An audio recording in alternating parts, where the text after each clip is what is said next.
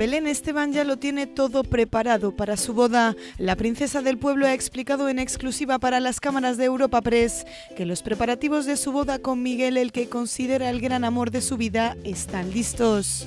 Bien, ¿se está todo preparado? Sí, Sí, ¿tienes está todo todo, todo, todo. Ya está la lista, ya está todo, todo, está todo, mi amor. La despedida, los anillos, Todo, todo, está el vestido todo. y todo. todo. Además nos ha asegurado que Miguel la ha ayudado a organizar la boda. ¿Miguel te está ayudando o está delegando en No, ti? no, Miguel también, hombre, es la boda de Belén y Miguel, ¿sabes? Sí. Y sobre los invitados a su enlace, el Gustavo viaje. me ha dicho que no viene a mi boda, entonces tampoco pasa nada. Yo sé a quién tengo que invitar y yo quiero que ese día todos que estemos allí no lo pasemos bien.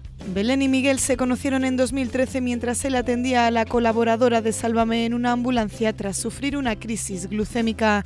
Ya en enero de 2014 pudimos ver su primer beso en la portada de la revista Pronto. Desde entonces, salvo una ligera desavenencia que no ha dejado secuelas, su relación ha ido viento en popa.